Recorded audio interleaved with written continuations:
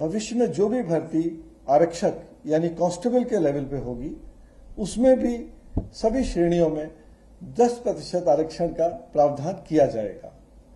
न सिर्फ़ आरक्षण दिया जाएगा, बल्कि उनको आयु सीमा में छूट भी दी जाएगी। जो दिसंबर व दिसंबर 2026 व जनवरी 2027 में जो पहला बैच अग्निवीरों का आर्मी, नेवी एयरफोर्स से डिस्चार्ज होगा उनके लिए ये छूट की सीमा पाँच वर्ष होगी।